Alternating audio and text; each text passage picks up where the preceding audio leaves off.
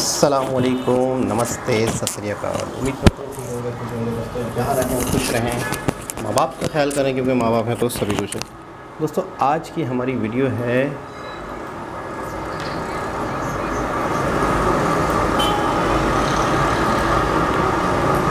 दोस्तों आज की हमारी वीडियो एक सॉन्ग है। आ, भारत का रहने वाला हूँ। मनोज कुमार देश भक्ति सॉन्ग देशभक्ति सॉन्ग देखते हैं सॉन्ग को। ओल्ड सॉन्ग है थोड़ा। लेटेस्ट अपडेट्स के लिए अल्ट्रा चैनल्स को सब्सक्राइब करें बेल आइकन को प्रेस करें। जब ज़ीरो दिया मेरे भारत ने भारत ने मेरे भारत ने दुनिया को तब गिनती आई।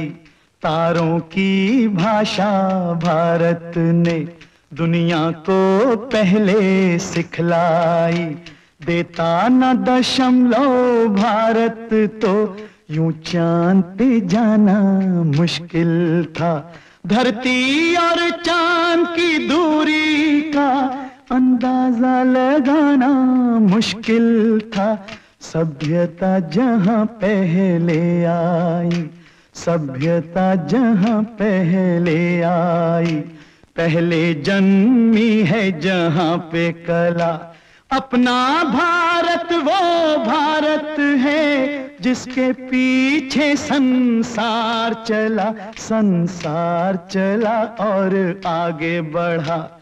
यूँ आगे बढ़ा, बढ़ता ही गया। भगवान करे ये और बढ़े बढ़ता ही रहे और फूले फले बढ़ता ही रहे और फूले फले। चुप क्यों हो गए? और सुनाओ।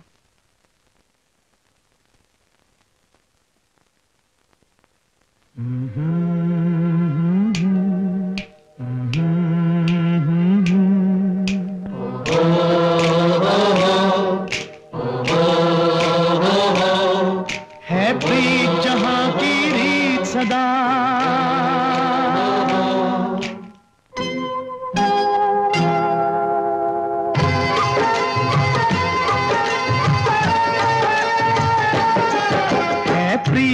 जहाँ की रीत सदा।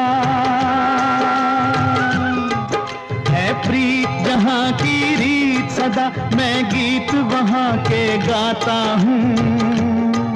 भारत का रहने वाला हूँ, भारत की बात सुनाता हूँ। है प्रीत जहाँ की रीत सदा।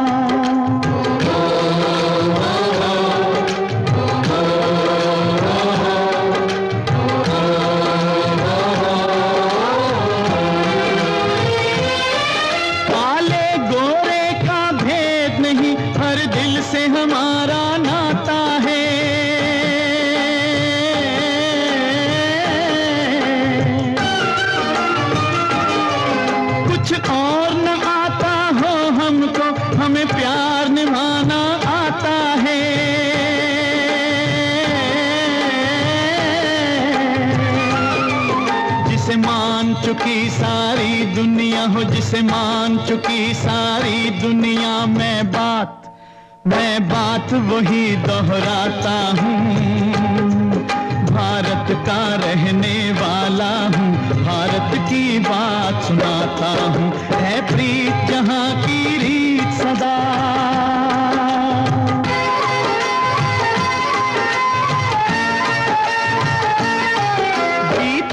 किसी ने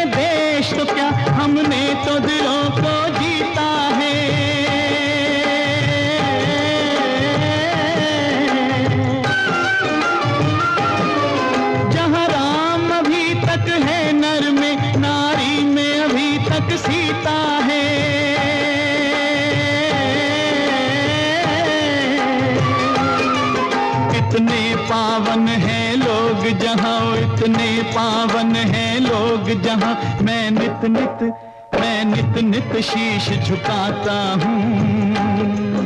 भारत का रहने वाला हूँ, भारत की बात सुनाता हूँ।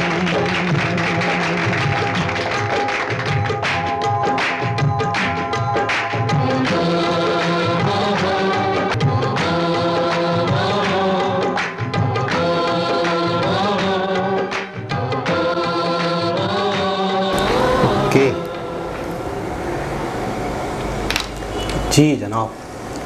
बहुत ही ज़बरदस्त, बहुत अच्छा लगा, बहुत खुशी हुई।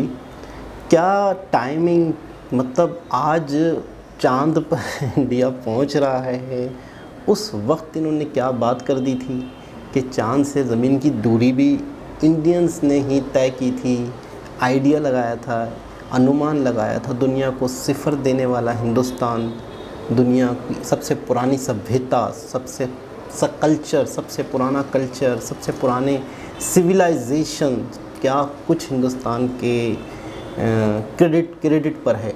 और आज जो सिर्फ़ बातें थी, या हिंदुस्तान पुराना जो था, आज का हिंदुस्तान भी वो चीज़ कर रहा है। यानी कि आज वाकई इंडिया चाँद पे पहुँच गया है। आज वाकई इंडिया चाँद पे पहुँच गया है। यहाँ के लोगों के अंदर टैलेंट की कोई कमी नहीं है। यहाँ के लोग बहुत ही ज़्यादा रिच थे, बहुत ही ज़्यादा जहीन थे पूरी दुनिया में। सबसे ज़्यादा सिविलाइज जो जगह थी, वो यही जगह थी। तो कैसे यहाँ के लोग आज तरक्की नहीं करेंगे? सिर्फ़ और सिर्फ़ इन्हें एक मोटिवेशन की ज़रूरत थी। इन्हें अपना हिस्ट्री बताने की ज़रूरत थी कि यार तुम लोग क्या थे? तुम क्या कर सकते हो? तुम ही लोगों ने दुनिया पे राज किया है। तो बात हो रही थी कि वाकई एक दौर था कि हिंदुस्तान ही पूरी दुनिया की सबसे मतलब सोने की चिड़िया और ये सारी चीज़ें कहीं जाती थी। ब्रिटिश ने उसे ऐसा नोचा ऐसा नोचा ऐसा नोचा कि अच्छा इस ब्रिटिश से बहुत बेहतर पुर्तगाली थे। पुर्तगाली वैसे ही ट्रेड करते थे हिंदुस्तान में और कम से कम उन्होंने इसको नोचना का नहीं सोचा था। लेकिन ब्रिटिश आए अच्छा ब्रिटिश अपने बच्चों को क्या पढ़ाते हैं?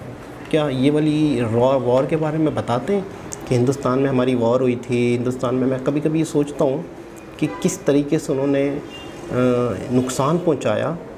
तो उनके बच्चे ये नहीं पूछते कि यार, वहाँ पे वॉर कैसे हो गई? हम, हमारा कंट्री तो ये था, हमारा तो देश ये था। तो वहाँ पर वॉर कैसे हुई? मतलब इंडियंस हमारे ऊपर आए क्या? लड़ने के लिए दरमियान में कहीं वॉर हुई? उधर वॉर कैसे हुई? क्या उन्होंने हमें ललकारा था? क्या उन्होंने कहा था कि हम आएँगे आपको मारने के लिए? मतलब हुआ क्या था?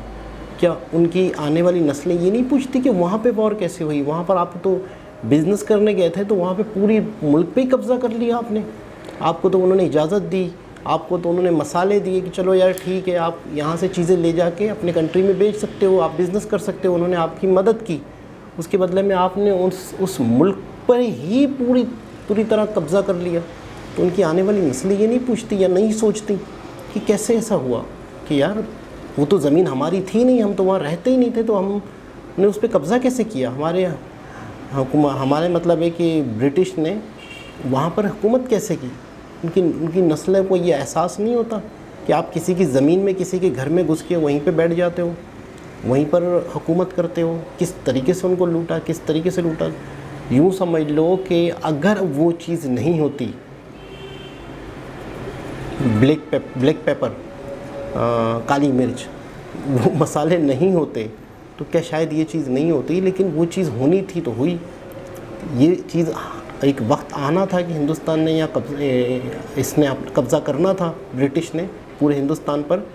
तो कभी कभी ये दिल करता है कि यार अगर ऐसा नहीं होता तो क्या सूरत हाल होती क्या हालात होते? पूरी दुनिया का गढ़ यही होता। या मैं, मुझे नहीं लगता कि पाकिस्तान होता या हिंदुस्तान इंडिया होता, एक पूरा एक देश होता। पूरी एक एक दुनिया जिसको मतलब यूँ समझ लो कि एक पूरी दुनिया के लोग यहाँ आके कमाने का सोचते हैं।